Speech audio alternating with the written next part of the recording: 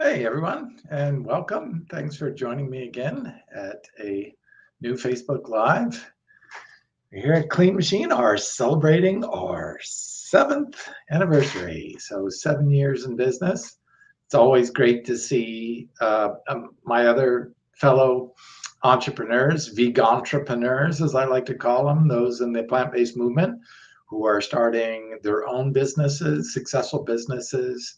Um, it's great to be a help. I do, uh, for those of you don't know, I uh, do consulting for um, other startup businesses who are in the plant-based community and uh, trying to help them, uh, you know, steer through how to get to the marketplace, um, how to set up proper uh, retail and and and business to consumer uh, marketing and efforts, pricing, all that kind of good stuff. So if you're interested in, in setting up your own um, plant-based business, definitely might want to reach out to me too as well. But Clean Machine, seven years in business. It's exciting. So we're actually going to be giving away some product today. So ask a question, and if you ask a question and I answer it live here on air, you maybe uh, could win one of our nice prizes. We can be giving away uh, clean BCAAs, uh, both uh, lemonade and fruit punch. Um, the lemonade's amazing. I love the lemonade, especially in hot weather. Florida's really hot right now in the upper 90s. Uh, also, you could choose a clean green protein, Ahiflower, cell block 80, any of the products. So free product of your choice. If you ask some questions and we get use it live here on air. So go ahead and type your question into the box and uh, questions could be anything. Um, can can be about the products, can be about supplements in general, um, can be about diet, can be about a vegetarian or vegan diet, uh, what to eat, where to start, um, anything like that. So um, definitely tune in. Just uh, add anything down in the comment box. Uh, once it pops up, let me know. Um, topics could be, you know, protein, um, specific vitamins like vitamin K, omega 3s, uh, B12, uh, any of these types of things, or just questions more about like, you know, what do you do, or what do you take, or what do you eat, or um, bodybuilding or competing. I did that for sure. You can see some of my trophies behind me, uh, natural and natural bodybuilding awards. So this is this is up for you. It's, it's seventh anniversary for us for uh, being uh, plant-based uh, fitness nutrition, but uh, totally uh, really would like to hear some feedback from you about what's interesting to you, what you're excited about, what you're curious about. Um, if I can um, answer those questions, I'm happy to answer them. Um, one of my topics I want to address, though, is uh, food fear. So, um, yeah, I noticed uh, T. T. Colin Campbell, one of my favorites, who wrote uh, uh, a great book um, and has been kind of a grandfather for the, the movement, the plant based movement, long term uh, vegan. And you know, he had uh, made a comment about, hey, a little bit of sugar or salt is is really not going to hurt you. And I thought that was an important comment um, because. Uh, I think we can get so obsessed with all these little details. Oh, you can't do this. You can't do oil. Can't do sugar. Can't do salt. Can't do can't do. You, you get so overloaded with these can't do's, it's stifling and paralyzing to the point where people are afraid of this and uh, anti-nutrients and, and leptins and, and, and, and lectins and all these different things that people start building all this fear. Oh, I, I can't do that. And then that, that's going to hurt me and that's going to hurt me. And I'm like, chill out. really, we're talking very small differences in in the way and and it's not taking into account that we have mechanisms in our body that can respond to this and and change it and heal it and fix it in our body and adjust to some of these things.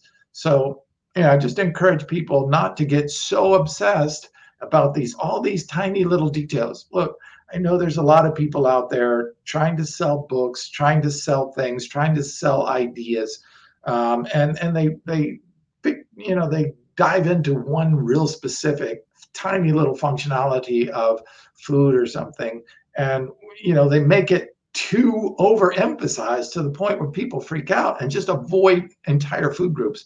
When yes, everything has may have some slight toxicity or slight negative effects to it, but you're not looking at all the positive benefits that it's doing, the antioxidants, the polyphenols, the the other phytochemicals in there that could be balancing those effects. You know, it's like, oh, stay away from caffeine. And I, look, I understand some people are totally sensitive to caffeine, so you do have to watch out for that. I mean, you get really can get bad rashes or things like that. Definitely, if that's the case, then you need to eliminate those types of things. But you know, some people get so like, I can't do chocolate because it's got a little bit of caffeine in it, or I can't do green tea because it's got. And I'm like, okay, so caffeine by itself, if you took it all by itself, may have def- detrimental effects. But in its natural whole food state, you're getting quite a different effect. There's other phytochemicals like a theanine in green tea that actually acts as a nervous calmative. So, um, yes, caffeine is a central nervous stimulant, but when you are balancing that with amount of uh, theanine that is naturally occurring in the whole green tea, you're getting quite a different experience.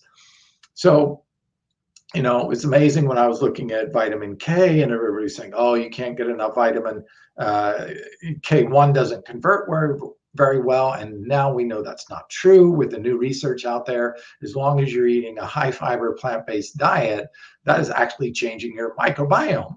So they were looking at one thing in a petri dish or in, in people eating a certain way.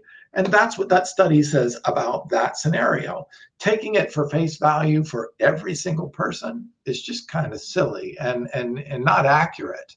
Um, so when they, they found that when people move to a plant-based diet, which is high in uh, vitamin K1, that K1 converted at a much higher rate. Why is that?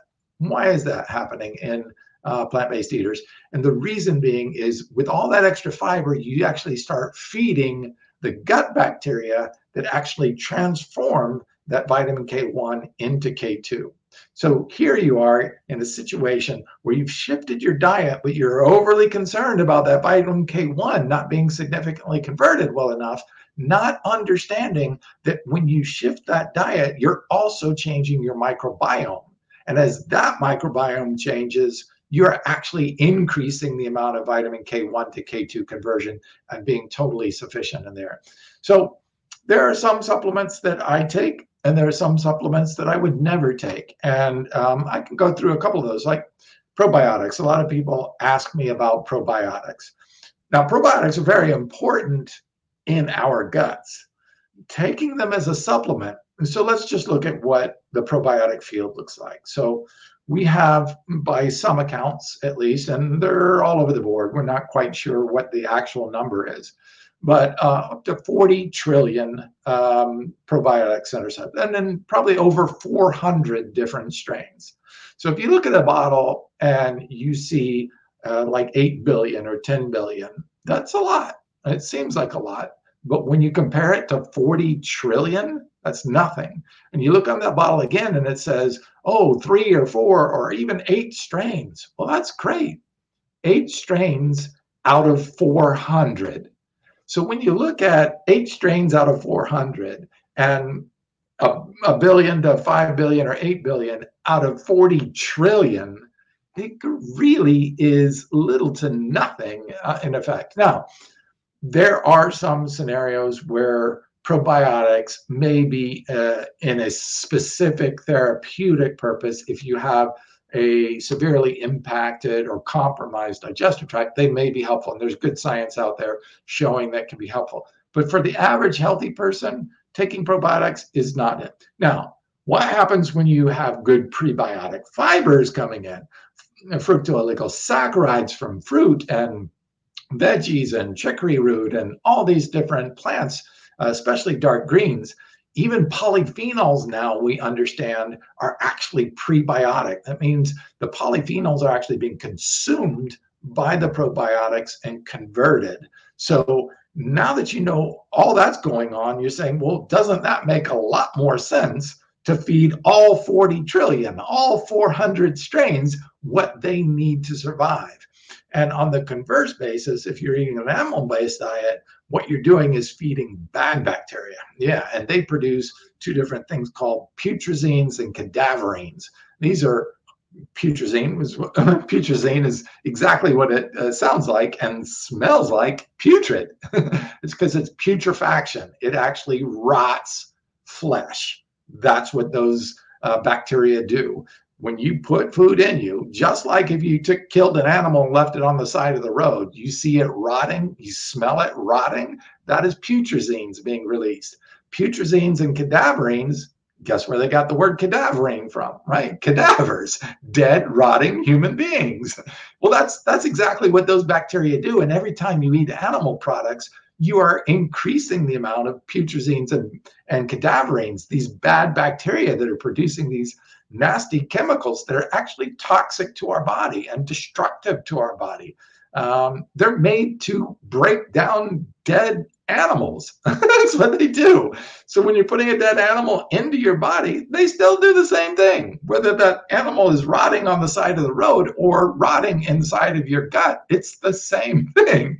So again, it's all about what you're putting in there. So there are some supplements that I would take, some supplements that I would never take, uh, just because in this case, I don't think they're necessary. Vitamin K, I don't think is necessary based on this research.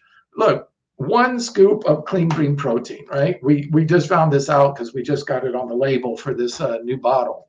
One scoop supplies over 1100% of your vitamin K. Dark greens are loaded with vitamin K. So if you're getting all this vitamin K plus all that prebiotic fiber, nine grams of fiber in a scoop of this, all that prebiotic fiber feeding those bacteria that can convert all that vitamin K, you're getting way more vitamin K than your body ever needs. So great for building up bone tissue, helping nice, strong bone tissue. It helps actually increase the fibrous proteins that strengthen the bone. If you ever break open a bone, see the inside of it, you see all those fibers in there.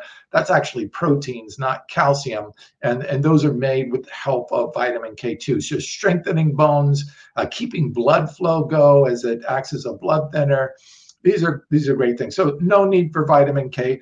Some of the supplements I do think um, are very important to take. Vitamin D3, because look, we're just not outside getting sunshine every day like we should normally. Vitamin B12. Unfortunately, now in the new labels, we have vitamin B12 right on there. You know, we just discovered that uh, Lentein is one of the few plants in the world that we know and is convert uh, commercially available that actually contains real, true bioactive B12 inside of the plant. That's actually the bacteria being pulled up into the plant so that when you eat the whole food plant, the plant and its whole food state, which is what's in uh, clean green protein. Remember, we use the whole plant the leaf, the flower, the stem, the root, everything. All that gets just dehydrated and powdered, and you get the whole plant nutrition. We don't add any vitamins or minerals to clean green protein and you're getting just true, real whole food nutrients in their whole food state from clean green protein. So, still don't have any questions up. Uh, if you do have any questions, feel free to ask. They can be almost any topic, uh, veganism, vegetarianism. Remember, if you post a question and I uh, get to able to respond to it, you might uh, will contact you and you could win a free product of your choice. So uh, get those questions up there and, and uh, let me know. Uh, if you are watching this after the Facebook Live, um, you also have a chance to be able to uh, leave a question and um, still win a product too. So we're going to give away one during the live program if uh, if we get some questions, and two um, if you're watching this after the live program, uh, we'll give away within the first couple of days of this uh, of this live uh, program too. So if you're watching it way in the future, sorry about that. No free products for you, but we will do this uh, pretty regularly. So be sure next time there's a Facebook Live to tune in, and we'll be giving away more products throughout the rest of the time too as well. I really, you know, want to give back. We do give backs uh, every quarter to plant-based companies. Um, we uh, plan to hopefully do the next World Vegan Bodybuilding Championship kablam. Yes, we want to get uh, all of you vegans who are doing amazing things with your physiques out there, male and female, and uh, do the second uh, World Vegan Bodybuilding Championship. It's a natural body building competition. Um, we were hoping to get it uh, this year, but obviously in 2020 with COVID and uh, the the whole pandemic, the lockdown, uh, gyms not being opened, we just uh, needed to delay it so that more people could participate in it. Uh, it'll be in Florida. And we're excited to bring that to you when and if we get a space where there's uh, not another outbreak. knock on wood, let's hope there's not. Um, and remember, there's a lot of good information. Hey, I was just reading this amazing study, uh, speaking of working out, that showed um, it's called uh, Lifestyle Risk. I'll read it right quick too, because I've got it open right now. Lifestyle Risk Factors, Inflammatory Mechanisms, and COVID 19 Hospitalization. It's a community based cohort study of over 387,000 adults in the UK. And they found that um, uh, risk factors of unhealthy behaviors in combination accounted for a 51% of the attributable severe COVID 19 cases. And, and one of the factors that they looked at was physical activity. So, this is really interesting that we're seeing now that even physical activity, exercising on a regular basis, can improve your immune system and increase your chances for surviving and reduce the risks of severe cases of COVID-19, which can be debilitating and can even even uh, leave a permanent and long-term uh, damage or results. So very important to keep doing your exercise, stay with your nutritional programs, and maintain a healthy immune system. All right. Well, it looks like we didn't get any questions this time around, but hopefully we will. And and uh, again, if you're watching this in the future, please leave your questions, and I will hope to get back to them and, as soon as possible. And uh, let me check one other thing before I leave here, and let's see if we got any questions. One more place. Okay. So um, don't forget to leave questions next time or leave them even after the Facebook Live. And um, and uh, we can take it from there. Uh, love to get your feedback. Love to hear what you're interested in, what you're curious about. If you heard other things on other websites, other blogs, other YouTube channels that you feel, is that really true? You know? Hey i don't have all the answers but at least we can start the discussion. I'll give you what i know about the the research that's available out there um, what studies are out there and um, and then we can take it from there. It's all a dialogue. I don't claim to be right about everything. That's not who i am. What i want to do is give people the the best information possible. When i find better information i'll share that instead. I don't mind being wrong because wrong means I've found something better so remember that next time when you're wrong, say you're wrong and move on and and grab that new information and share that until you find something else. Just like the old saying is do good and do better until you know better and then do better. All right. Well, thanks again for those of you who did join me. Uh, see a couple of people watching.